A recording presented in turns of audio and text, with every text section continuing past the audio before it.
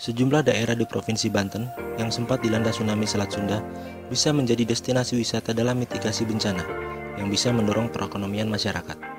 Dengan letak geologi sebagai salah satu provinsi di Pulau Jawa yang rawan bencana, Banten bahkan berpotensi menjadi daerah wisata bencana. Hal itu dikatakan oleh Wakil Ketua DPP Asosiasi Perusahaan Pameran Indonesia, Muhammad Rohadi dalam sambutannya saat membuka kegiatan Banten Mais Forum 2 di Royal Krakatau, Jumat 23 Agustus 2019.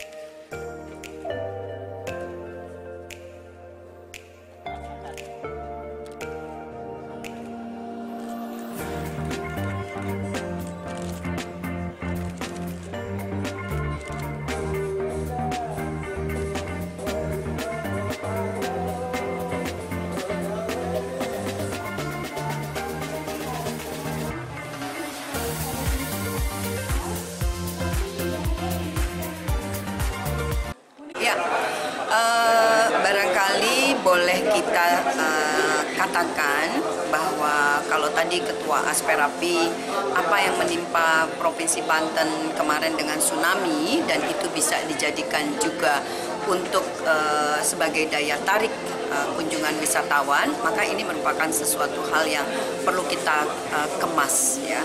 Apanya yang akan kita eh, jual?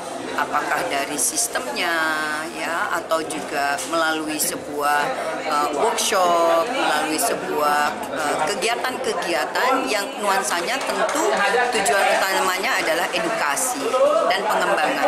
Apa yang dimiliki oleh Banten atau bisa saja dengan menghadirkan pakar-pakar dari berbagai daerah yang sudah mengembangkan uh, sistem penanggulangan bencana, early warning system dan sebagainya datang ke Banten untuk sama-sama memberikan uh, sharing. Jadi manfaatnya uh, bisa sangat bisa sangat banyak sekali dan ini uh, justru bisa menjadikan uh, sebuah event untuk menghadirkan pakar baik uh, nasional maupun internasional karena sudah banyak sekali. Untuk bisa berkunjung ke Banten dan membantu Banten dalam uh, mempersiapkan uh, terutama di, di destinasi wisata karena uh, kaitan dengan desa siaga bencana maupun juga dengan sistem-sistem bagaimana hotel-hotel memiliki standarisasi dalam penanganan bencana dan sebagainya ini tentu uh, harus di harus diupayakan secara bersama. Satu lagi pun uh, terkait dari aspirasi pusat tadi bilang bahwa Banten harus mempunyai infrastruktur Ya. untuk menunjang potensi wisata. Ya, infrastruktur alhamdulillah Bapak Gubernur Banten Pak Wahidin Halim sangat concern terhadap pembangunan infrastruktur dan saat ini sedang dibangun uh, untuk infrastruktur jalan dan infrastruktur-infrastruktur yang lainnya ya termasuk juga uh, beliau punya gagasan untuk Banten punya sport center. Nah, ini kan juga bisa dijadikan uh, sport tourism ya.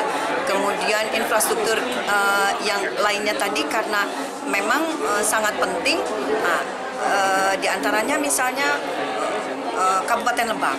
Kabupaten Lebak dengan visinya di pariwisata, maka bagaimana pemerintah Kabupaten Lebak ini juga yang kami yakin betul Ibu Bupati sudah sangat uh, peduli dan punya cita-cita ada convention juga di uh, convention center di Kabupaten Lebak karena bagaimana wisatawan bisa datang ke uh, menyaksikan keindahan uh, destinasi atau keindahan alam yang dimiliki oleh Kabupaten Lebak sambil melakukan kegiatan-kegiatan yang sifatnya bisnis meeting.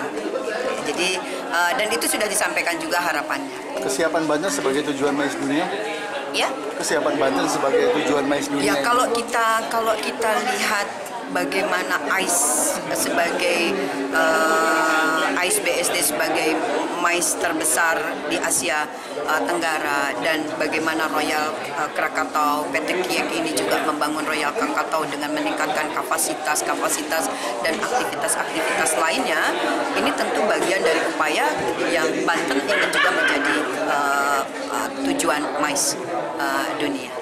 Potensi unggulan dalam bidang apa nih? Kalau di kita kan, kalau kami Asprapi lebih ke event ya. Kalau kami lebih ke event sama ke pameran. Gitu. Tapi kalau misalkan untuk pariwisata, untuk destinasi mungkin ada uh, stakeholder lain yang bisa menjelaskan. Tapi kalau untuk event, kita tahun ini sudah mulai mempersiapkan event-event dengan standar nasional maupun internasional di tahun depan.